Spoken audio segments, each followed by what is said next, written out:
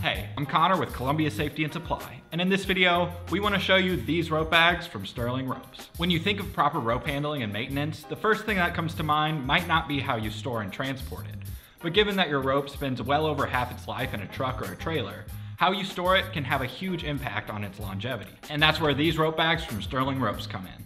Leave it to a company that's known for some of the highest quality ropes to create a solution for protecting those ropes. These bags are constructed from a lightweight yet durable nylon with grommeted drainage in the bottom and top handles for hanging in a job trailer or a shop. A large transparent pocket has been sewn onto the front to secure those important rope logs.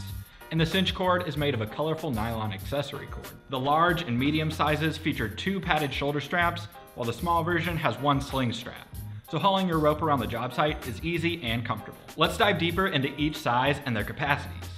The large rope bag is denoted by its red color scheme. This 45 liter bag features an 11 inch diameter with a height of 25 inches and can hold up to 400 feet of half inch rope. The medium sized rope bag can be identified by its orange coloring. This 31 liter bag has a diameter of 11 inches with a height of 22 inches and can hold up to 200 feet of half inch rope. And finally, the small rope bag features a yellow material. And with a 17 liter capacity, a diameter of 10 inches, and a height of 19 inches, it can hold up to 200 feet of 3 8 inch rope. These bags are made to withstand an immense amount of wear and tear, so your rope doesn't have to.